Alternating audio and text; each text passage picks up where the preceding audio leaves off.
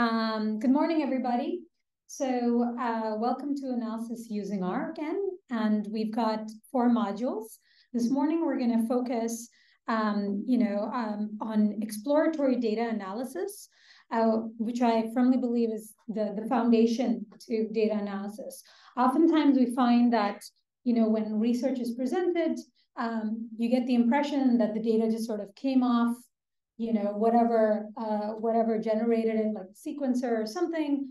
And then you say, well, how do I find my differentially expressed genes and whatnot, right? And then you say, oh, you've got to go use, you know, this this package or that package. But there's a lot more to understanding your data.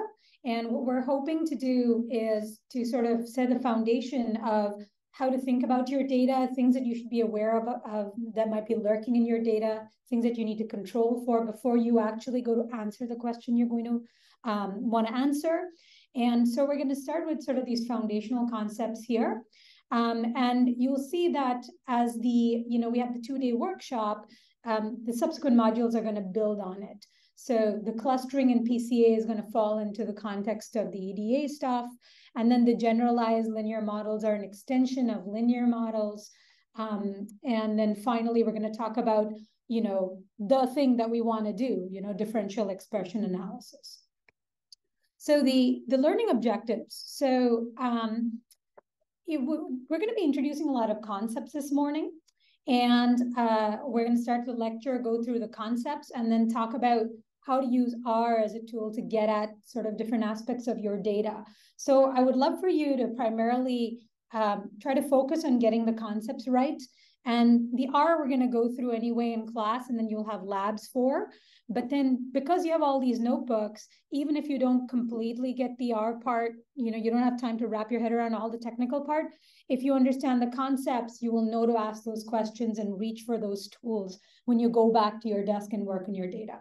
So at the end of this lecture, um, you should be able to define sort of, eh, you know, conceptually talk about the anatomy of a model. A model is what you know, all of us are trying to probe in our studies, right? And we're going to talk a bit more about that. But first, you have to be able to name all the different parts of the model so you can tell whether you've addressed something or not, right? And what else is left.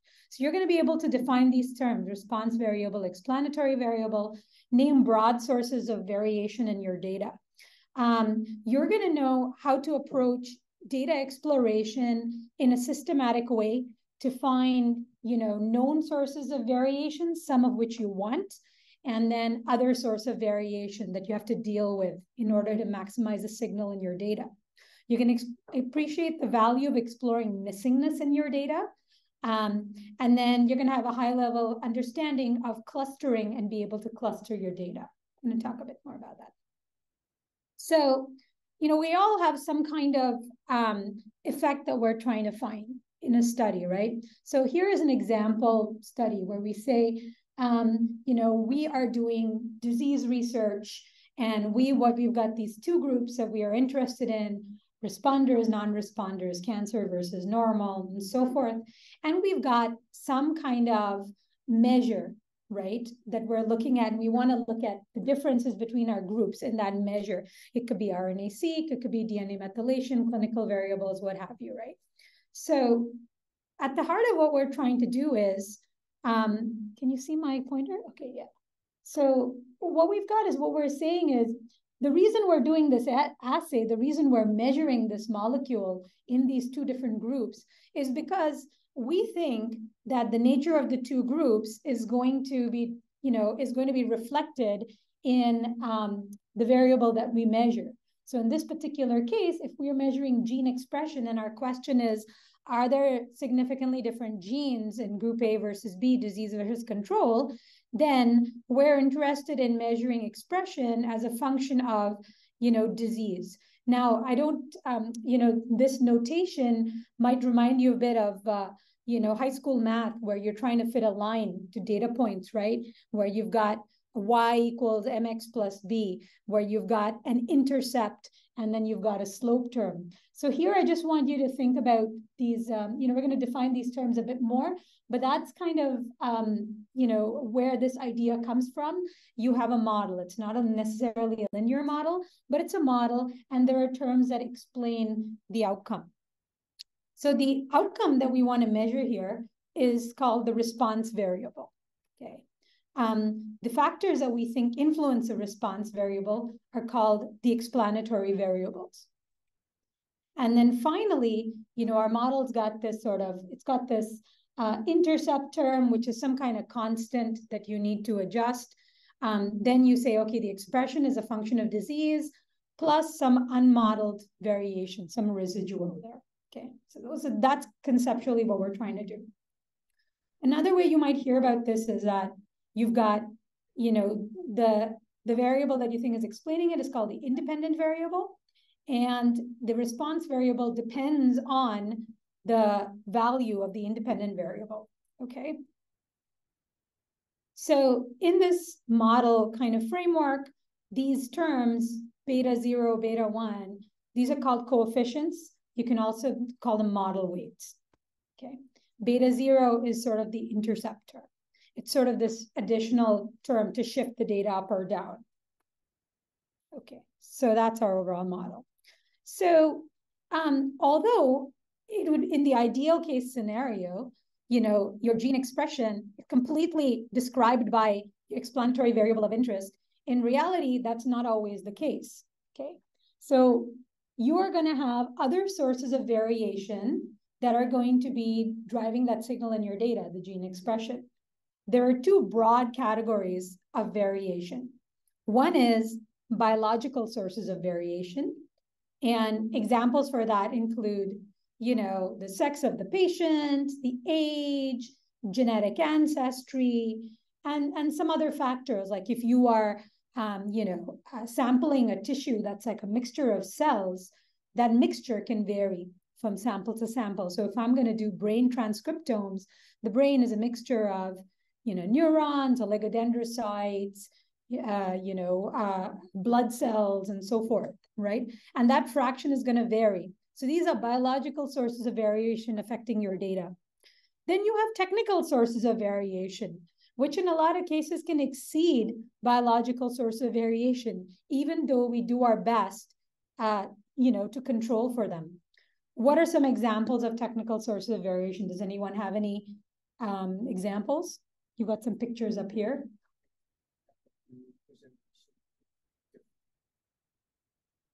Yeah, protocols, right, for preserving your tissue. What else? Technical sources of variation.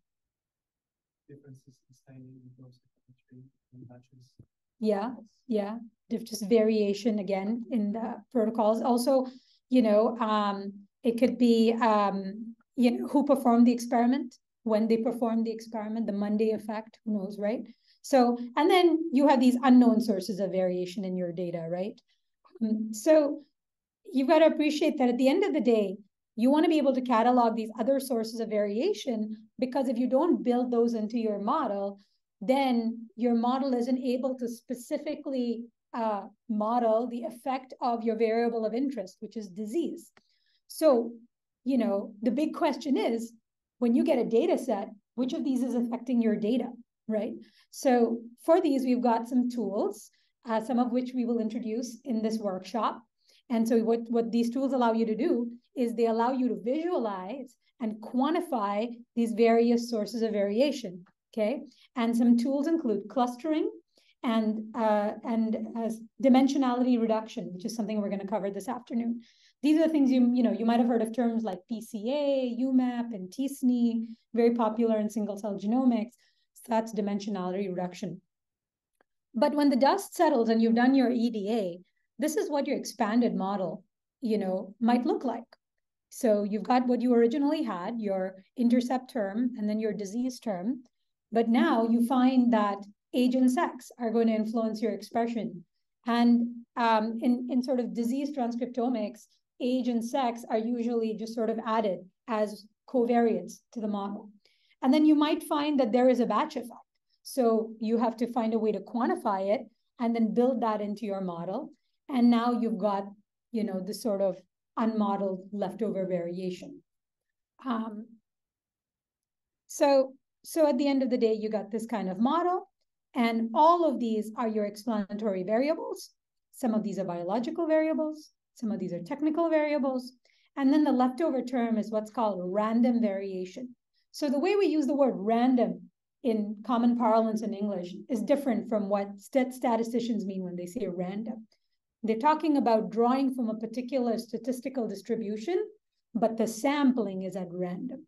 And so when you pick a model, right, like you say, oh, I'm going to do differential expression analysis, I'm going to use EdgeR, it's making assumptions about what uh, statistical distribution this random sampling draws from. And this sort of, you know, and that and whether that best describes your data set or not is something you need to consider. Okay. So that's what random variation means. And this in part determines whether we use linear model or some other kind of model to fit our data. So those are the terms of the anatomy of a model. Another point to consider in data is missingness, right? So can you give me some examples of, you know, why you should have missingness in your data? Where would missingness come from?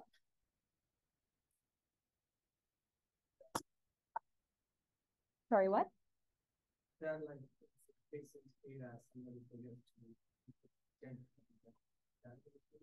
Yeah, yeah. They might have, you know, data entry errors. It's one example. Why else could data be missing from you? The biopsy, the from the patient, like uh, didn't biopsy the, the patient. Yeah, so quality control. So yeah, if, if something went wrong with a particular sample, you're missing that data point because it didn't pass quality control, right? So the take home message is that missingness happens for, and it can happen for various reasons. So if you're working with cohort, population cohorts, and you've got a lot of clinical variables, right? Some of them might be missing the data, especially if you've got a questionnaire. Sometimes people don't respond to all of the questions, right? If you have data pooled from multiple institutions, not all, you know, different institutions may collect different subsets of data. So you've got missingness. Multi-omic data, you know, I did gene expression and proteomics. Some of the patients are missing the proteomics data. So these are possible reasons. What do you do when you have, you know, missingness in your data? So one thing you can do is you can define a cutoff for what constitutes excessive missingness, right? So um, we're gonna, you know, see some of this later, but you know, you can say something like, you know, if a patient is missing more than 80% of samples uh, or measures, then we have to exclude that patient. And exactly what that cutoff is, you know, I would suggest whatever your field is, you look to see if there's a convention for uh, what's considered appropriate for removing missingness, or you have to, uh, you know, come up with a justification based on your data.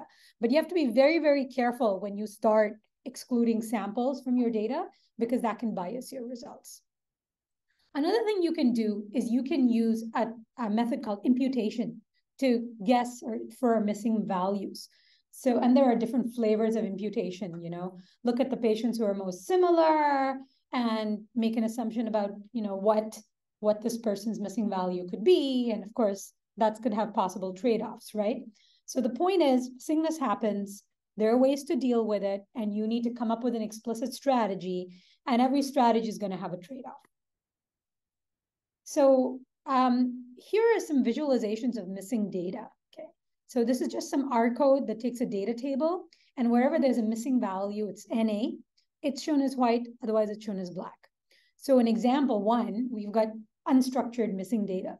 So there seem to be some, you know, assorted missing values. There doesn't seem to be any particular pattern in the missingness, right? Here you've got another table where there's only missingness for one particular column and everything else is complete. So then you need to consider what that column is, how important it is to your design, and what you're going to do about it, right? In this particular case, it happens to be age. So if you're going to build that into your statistical model as a covariate, you have to come up with a plan. The most um, the most um, nefarious kind of missingness is biased structured missingness. All of your cases are missing values for something, right? Um, but your controls are not. So what you do, you don't look at your missingness and you just apply imputation. And now you've got some filled in value come up by some algorithm, but because you didn't visualize your data, you didn't realize that what it filled in was for all the cases. And that biases your results. So the message is look at your data and you know look at your missingness and and drill into it to make sure that if it seems to be biased uh, try to understand how much it's affecting your two groups so you can come up with an appropriate plan yeah okay so that's the thing where possible look at your data so then what are the goals of exploratory data analysis okay so coming back to our statistical model, remember we said we've got biological variation, technical variation. And when we come in, we're just excited about the thing we're excited about. Oh, disease effect, right? So the goal of exploratory data analysis is to, to um, identify the magnitude of known biological and technical variation in your data, right? Are there, is there a huge separation by sex of the samples? Do older and younger samples cluster differently, right? Um, the second is to identify sources of unknown variation. And this comes by visualization and tools like PCA, where you can see the data seem to be separated. They're not separated based on any variable in your sample table, your metadata information, as it's called. Um, so you want to identify these, model these, so that they are separated away from your disease effect. And then your disease effect is just your variable of interest is just more cleanly modeled. Picking up on outlier samples, right? So quality control things happen, you know, so that's the other reason. And the fourth is to characterize missingness. So for each of these four goals, we have specific tools, and we are going to introduce you to these tools in the course of this workshop. So identify magnitude of known biological and technical variation. You use tools like dimensionality reduction, PCA, clustering, and prior knowledge. So if you've got a data set, a genomic data set, you've got to have the phenotype table for the sample, all the sample metadata it's called. So you've got the data, which is your gene expression. Metadata is all the information about your samples, right? Was it pro was it in the first batch or second batch? was, uh, you know, uh, uh, age, sex, you know, treatment course, whatever is relevant for yours, uh, your study context. Um, and then the action is you add the terms to the model, identify sources of unknown variation. There are tools, you know, again, PCA can identify this. There are tools such as surrogate, uh, surrogate value analysis. It actually might be variable analysis. Um, but the bottom line is, again, you identify that source of variation, build it into your model. Um, same thing, PCA clustering to find outlier samples. And then, you know, you can see there's a caution symbol on there. One action you can take is to exclude the sample from analysis. But again, this could bias your study. So you might have to do things like run the analysis with the sample included and the sample excluded and see how robust it is to that, that kind of thing. Finally, characterize missingness, right? We're going to make all these slides available. Yeah, the, we're going to make the PDFs available. I mean, you're welcome to take screenshots, but we're going to make them all available on the uh, on the GitHub site, the, the website. so here's a workflow to structure your data exploration. Again, as I said, you know, in a genomic assay, for example, you've got, uh, say in a gene expression assay, you get 20,000 measures roughly, right? 20,000 genes per patient or per sample. Um, if you're doing methylation analysis, you might get up to a up to a million samples uh, measures per sample, and then you have the metadata. So this is how you you know this is a recommended workflow to structure your exploration. It's not just kind of amorphous. I'm going to go explore my data. You know. Um, so first you say, well, how many measures do I have in my metadata? How many measures do I have in my data? What is the distribution of the measures? So you do things like you do box plots, you do violin plots, you uh, do scatter plots. We're going to do a bit of this tomorrow morning. Um, and those of you who took intro to R might have done some plotting as well. But you have to look at your data. You can't just throw it into like a black box method. Is there missingness, right? So visualize it and decide on a solution.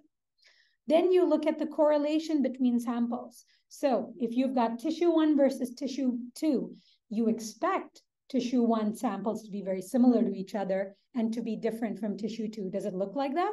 Or is there something else driving the structure? Does the data have natural groupings? How many major sources of uh, variation do you have? And, um, you know, do they map to known biological variables or known technical variables? Maybe you go back to the lab, you say, oh my gosh, you know, the person who did the experiments, you say, I'm seeing two different clusters. Did you guys switch batches of your antibody or something like that? And they're like, oh yeah, we did. Okay, well, let's build that into the model, right? Are there batch effects? Attempt removal or to model in? Are there unknown, uh, unmodeled sources of variation? And then you get your final model for what is called inferential testing. And inferential testing is what we do when we do things like EDGE-R, differential expression, differential methylation. Um, sorry, that is a software package for differential um, RNA analysis. Um, so GSEA is downstream of EDGE-R. Yeah. Okay. And so what, what do you use to do, what tools do you use in terms of technique? What do you use to answer these questions, right? So we're going to go through this in our um, R lab. So for data exploration, you can use tools, you can use functions like dim and head. It shows you, it shows you a glimpse of your table. It summarizes the, the statistical distribution of your variables, plots. You know, for missingness, you can write code to count how many missing values NA are there. You can write a simple plotting. We're going to share a plotting function with you that shows missingness using you know that sort of checkerboard kind of pattern. Um, then correlation structure, you use clustering for that. Um, to quantify sources of variation, we use dimensionality reduction. Again, Dilaram is going to cover that this afternoon. Um, batch effects, again, you use these tools, clustering and dimensionality reduction. What they do is they identify um, major sources of sort of uh, groupings or structure in your data. And then there's a tool that I'm not going to talk about uh, during this workshop. You can look it up if this happens to be, you know, you happen to need it. Surrogate variable analysis. It will find additional sources of variation that may be in your data um, that, uh, you know, that you haven't modeled. Um, and then there are tools to try to remove unwanted variation as well. Um, yeah, and then you finally generate your model, and then you go downstream to do your inferential te uh, inferential testing. So that's EDA. Any questions about EDA before we move on to clustering?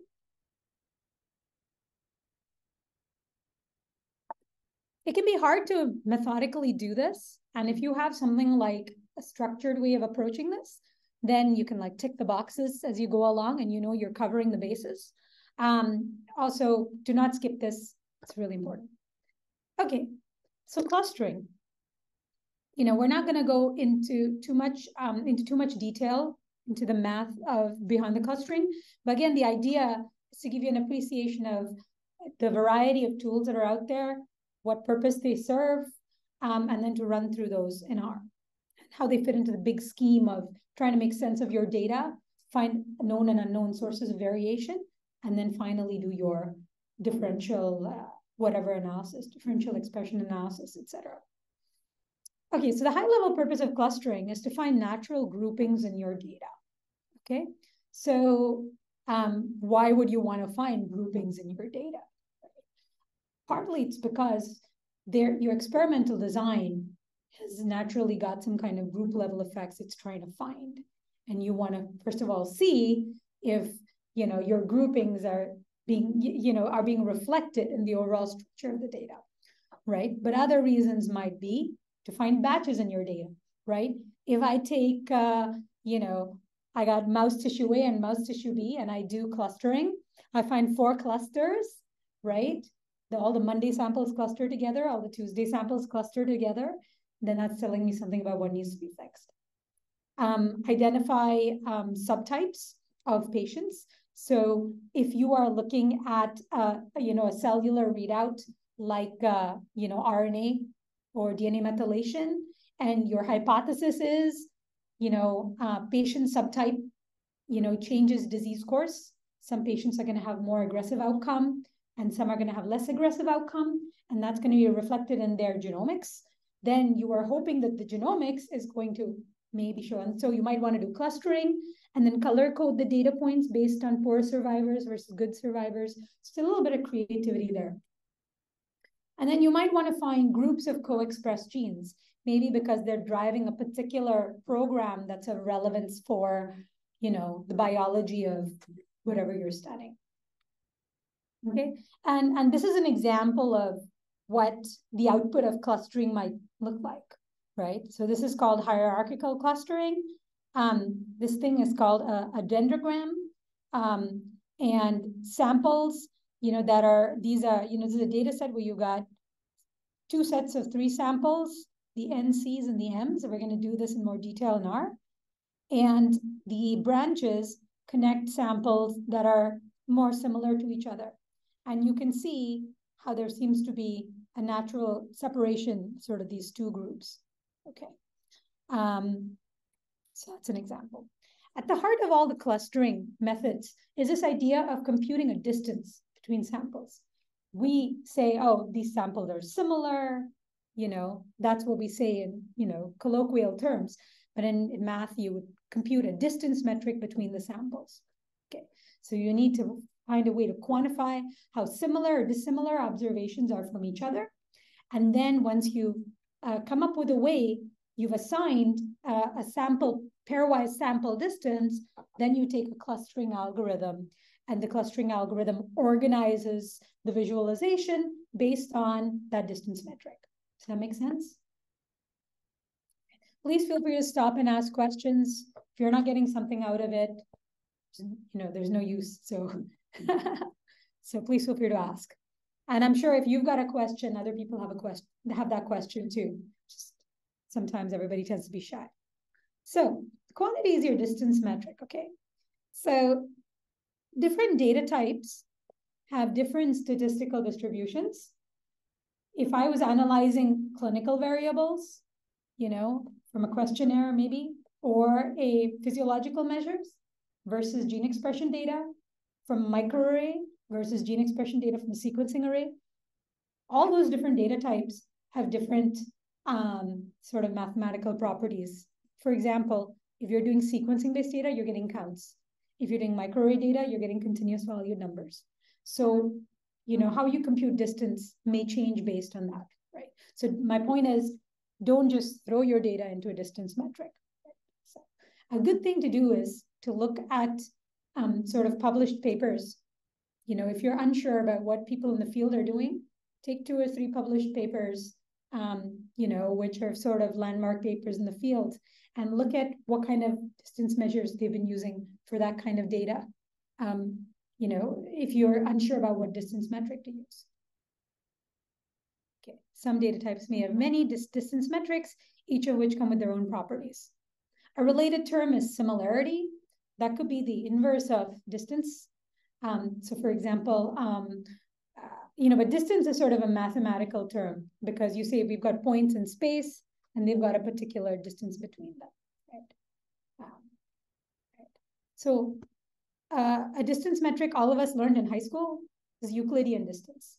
So you've got a 2D plot, you've got data points on the 2D plot, right? And that's the simplest form of Euclidean distance, x1, y1, x2, y2, and this is the formula for Euclidean distance. This formula can be extended for, you know, arbitrarily high dimensions. So when we say dimensions, we're not talking about, you know, wormholes in space. So dimensions just means how many measures you have in your data. So for example, if you've got gene expression data and you're getting 20,000 measures per sample, you're working with 20,000 dimensions. And, and you know, the measures like Euclidean distance can, can extend to 20,000 instead of saying, you know, just x2 minus x1, y2 minus y1, then you can keep on going z2 minus z1, w2 minus w1, etc., etc. Okay, so that's a Euclidean distance. Then, then you've got other forms of distances like the Mahalanobis distance, which is um, it's a type of Euclidean distance which takes into account um, sort of um, broad spread in the data and, um, you know, what which is called the covariance structure of the data. So this is another form of, this is another sort of distance metrics, and it, uh, it is normalized for uh, this kind of covariance structure in the data. Um, so that's all I'm going to say about that. Another kind of distance you've got is um, the Manhattan distance, which instead of looking at the straight line between um, you know the two points, it looks at blocks. You know, it, it counts distances in blocks. I've never had to use Manhattan distance in my analyses, but some of you might. Um, again, you know, all of these distance metrics are for continuous variables. What do you do if you've got a categorical variable? Um, you know, categorical variable is, you know, a patient can be one of, you know, can have a, how do I say this? Could be of type A, B, or C, right? And that's a categorical variable. So how do you compute the distances between patients when your numbers are categorical or they're binary numbers, right? Yes, no, yes, no. You've got a bunch of yes, no variables. How do you compute a distance between samples? So you would use something like a Hamming distance, which is number of mismatches between patients. Okay. What are some examples of common clustering approaches? We've got hierarchical clustering, um, which is the example that I showed you earlier with the two groups separated out with the pink and the green. Then we've got k-means clustering, and there are many others. Um, so the point to make here is that um, not you might not be able, you know, hierarchical clustering may not be the best kind of clustering for all kinds of data. You might have data represented differently. Like for example, if you are looking at a network okay, of interactions or a network of similarities between patients. Um, then how do you cluster? So if you have a network showing similarity between, you know, patients or people, say social social networks, right? So if you've got a social network, how do you cluster a social network? You may not use something like hierarchical clustering. For that, you might use something like spectral clustering. So the point is, you know, not all clustering approaches work for all kinds of data hierarchical clustering. Okay, so this is the one we see often in um, sort of genomics papers where you've got the heat map a multicolored grid and you've got that dendrogram on the top, right? So how does this one work? So first you come up with, um, just you first build the dendrogram and I'm gonna talk about how. Um, dendrogram is that sort of branching tree pattern that we saw a few slides ago. Um, then you choose a cutoff at a certain level of the dendrogram. Okay. Um, and, and, and then, um, you know, that's how you sort of uh, assign cluster membership. So when you say I'm clustering my samples, at the end of the day, each sample is going to have a label attached to it. It belongs in cluster one, it belongs in cluster two, it belongs in cluster three. So, you know, if I were to cut this tree uh, if I were to not cut this tree, everybody would be in the same group. If I were to cut this tree here, right, then the samples on this side of the cut are going to be in group one, samples on that side are going to be in group two, right? um, and so forth. And you can go with increasing levels of, it's called granularity. Okay. So then how do you, how do you build that dendrogram, right? So first you start uh, with pairwise distances uh, between your samples. Um, and you use a metric such as Euclidean distance. And now you have a number for all the pairwise distances, distance from A to B, A to C, D to E, D to F, and so forth, right? So then what you do is you take the samples with the smallest uh, distance and you put them together in their own branch, right? And you do it for the same level. Then you take this subtree, right? And then you say, what is this subtree closest to? You compute some kind of average, um, you know, uh, distance metric for this. And, and then you uh, connect it to what's nearest to it. And so it builds it up in this bottom up fashion. Okay. And then it continues in this way. You keep finding, you know, you keep taking the previous subtrees and then finding what's most similar to it and connecting it that way. Okay. And at the end of the day, you have the overall dendrogram. So that's that's how hierarchical uh, clustering works. Now we've got this very arresting animation here um, on this slide. This shows a different type of clustering called k-means clustering. So in hierarchical clustering, we, um, you know, we don't tell it how many clusters we're looking for. We just let it build a tree, right? And one possibility is that, you know, um, your tree, you know, might not sort of, um, you in some cases, you might know in advance how many numbers of clusters you want to expect, right? So that you expect. So that is your K. So in k-means clustering, you tell the clustering algorithm, I am expecting to find three clusters in my data. And so once you pick the number of clusters, the way the algorithm works is it randomly starts by picking three points, or say, say k is equal to three. It randomly starts by finding three points in, um, in that space, right? And it computes sort of the center of those three points. Those are called centroids. It's basically like the mean, but in a higher dimension. Um, and, and then what it does is for each data point, it assigns it, you know, um, to the nearest centroid. Okay, assign it to the cluster. And now what you've done is, before you had randomly just kind of thrown a dart at the at the plot and you had found your centroids. Now you've got a group of samples in that cluster so what you can do is you can take those samples and compute the center of that new cluster and say, this is my new centroid, right? So once you once you do that, you now have these new centroids, and then you say, do my samples still fall in that new centroid? Is that still the nearest cluster for this sample? Or does my samples cluster assignment change? So what you do is, in this repeated fashion, you assign samples to clusters, now you've got these new clusters, you compute the centroid for the new clusters, and then you do this again and again and again. And the idea is that at some point, you're not going to get much of a shift in where the cluster center is because the the you know the samples um but you know think about it this way right if you've got um three three different clumps of data points on a plot once you've assigned the sample to its true cluster, it is going to be closest to that cluster. It's no longer going to change its cluster membership. It stabilizes. So what this does is it starts randomly, keeps going till it stabilizes, okay?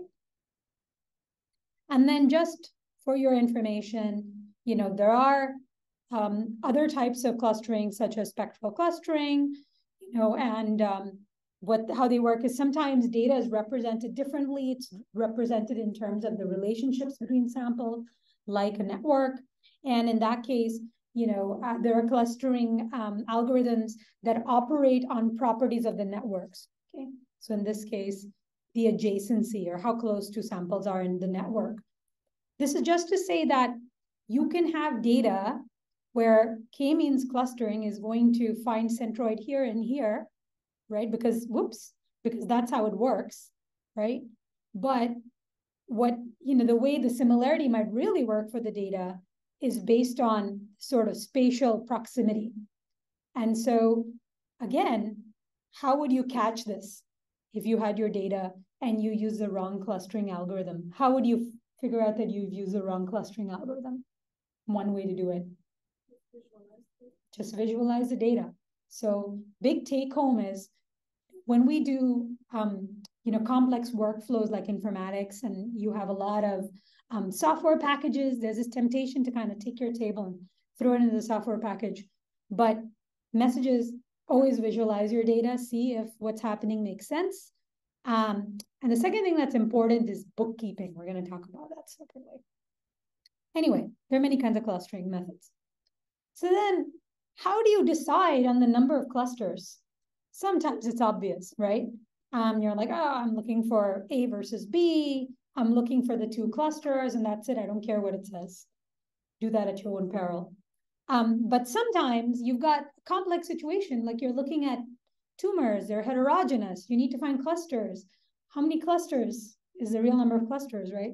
So there are some metrics to help help you identify, um, you know, which number of clusters seems to best separate the data. And the level of separation could be, you know, really good if your data is truly clustering apart, or it may be a little in between where you've got some clusters that are kind of similar to each other. So here are some metrics, right, that we're going to go through. Okay, arbitrarily cutting the dendrogram by eye. We will do this in the lab. And um, in R, you have this package called clValid, which will compute these um, sort of metrics or clustering um, so that you can see which uh, clustering solution seems to work best for your data. Okay, so the one that I've seen most commonly used is this silhouette width.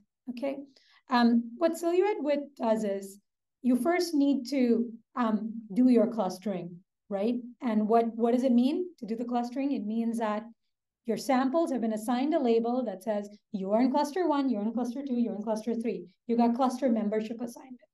Okay. Um, so what it computes is it says, given this clustering solution, how you know how similar is a sample to its uh, buddies in the same cluster as compared to samples in the cluster nearest to it. And you can assume, you can imagine where you've got, you know, two clusters that are kind of merged. Maybe there's a lot of data points in between those two clusters, right? But you can imagine other cases where they're wide apart. So, you know, basically all this formula is saying it's very simple. It says take for each data point i in your in your data set, look at the average distance, and we've defined the distance metric, the average distance of that uh, sample to you know, the, the samples in the nearest neighbor cluster. Compare that to the distance with, you know, all the other points that have the same cluster membership as it, right? And then because we like to look at scales that are normalized, you know, go from zero to one and so forth, you divide it. So this gives you an index that goes between plus one and minus one. Best cluster separation is, um, you know, this is zero, say average distance, and this is infinity. So then this term becomes very positive, but then you're normalizing it, so it becomes plus one. Does that make sense? Like the intuition? This is large, this is small, it's positive. So it's plus one. Worst cluster separation, the opposite, right? Minus one. Um, and so when you, you know, what this plot is doing is, is just, you know, each row shows you the silhouette score for each of the samples, and it sorted it based on, you know, high, starting from high silhouette to low. So you can see that, you know, these seem to be mostly positive. Subtype 3 seem to be mostly positive. Subtype 2 seem to be mostly positive. But something's going on with subtype 1, where a fraction of the samples have a negative silhouette score. And then the overall silhouette width for a cluster solution is the average of the silhouette scores for all the samples. That's what that is. Okay. So again, you know, here is an example where you've got some data points, you've got these four clusters. And then if we're computing the silhouette score for this red data point here, you know, AI is the average distance to all of its neighbors. These arrows don't point to every last neighbor, but basically average distance to all of the points in the same cluster. Compare that to you know, average of data points in the neighboring cluster. Okay. Again, I haven't drawn every last green arrow here, but the point is you're comparing it to the neighbor. Okay. That's the score. It goes from minus one to plus one. There's a related, so the clValid package gives you a couple other scores. You know, it's similar. The Dunn index is similar. These are all heuristic measures. So you're usually looking to see how many of them seem to be in agreement with each other. So if you have three metrics, you know, two out of three of them are saying it's five clusters, right? And the other one is saying it's two clusters. And so you come up with a decision, right? But you, whatever decision it is, you've got to have sort of an explicit plan for how you decided the number of clusters. Dunn index is a very similar heuristic, except that it goes from zero to infinity and you want to maximize and there's another one called connectivity. And it counts what fraction of your nearest neighbors, you know, uh, are not in the same cluster as you. And you have to tell it, what do I mean by nearest neighbors? Nearest 10 neighbors, nearest 20 neighbors, that's a parameter you change. And then it computes what fraction of your nearest neighbors are not in the same cluster. And this metric should be minimized. So just to be aware, these metrics have different scales. One goes from minus to plus one, one goes to infinity. One needs to be minimized. So just be aware of which metric is, you know, requires what consideration. Okay, so that's it for the lecture part of this, right? Um, so let's recap. What are the take-home messages?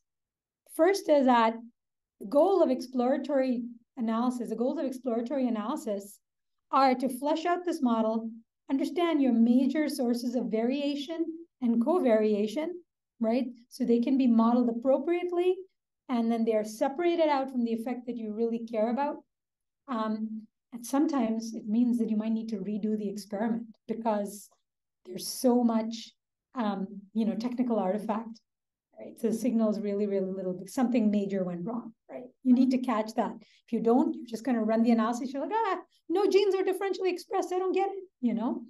Um, and of course, identify outliers, looking at missing data, right? So this is getting to know your data. EDA can be structured using a systematic approach like the one on the left. Um, and then finally, clustering is a tool that you use to find natural groupings in the data. It requires a distance metric. And when you're done, each of your labels has a cluster assignment, one, two, three. There are different methods for clustering, and you can uh, validate clustering using metrics. One thing I have not shown in this slide is um, there are two types of, two conceptual ways to validate clusters. One's called internal validation, and one's called external validation. Internal validation is what we've just discussed, silhouette score, connectivity, they have to do just with your data. External validation is perhaps using measures from another data set. So if I got three clusters, I'm expecting one of my cluster to be macrophages, another one to be neurons, another one to be blood cells. I'm going to color code my clusters based on expression levels of whatever, some macrophage marker, neuronal marker. And then I say, oh yeah, cluster three is my macrophages. So that's a form of external validation.